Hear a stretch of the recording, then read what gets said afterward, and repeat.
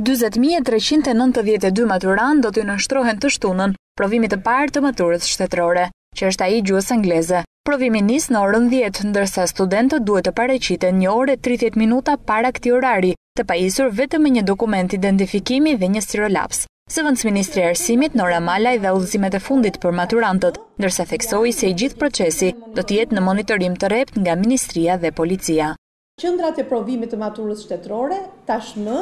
janë në përgjegjësinë dhe në monitorimin e Policisë së Shtetit, e cila merr përsipër dhe garanton standardin e të gjithë procesit. Maturanti,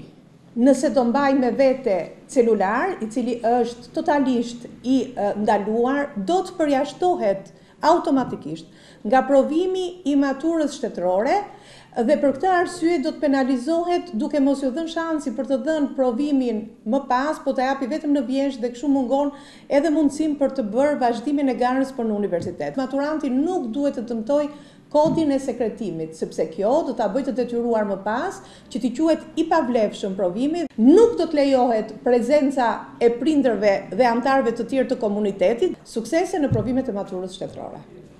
Në të gjithë Shqipërinë janë dyqind e shtatë qendra provimi, ndërsa janë krijuar pesë qendra korrigjimi përkatësisht në Tiranë, Fier, Elbasan, Korçë dhe Shkodër. Pas gjuhës angleze, maturantët do t'i nënshtrohen edhe tre provimeve të tjera, letërsi, matematikë dhe provimi i lëndëve me zgjedhje, i gjithë procesi do të mbyllet në datën njëzet e katër qershor.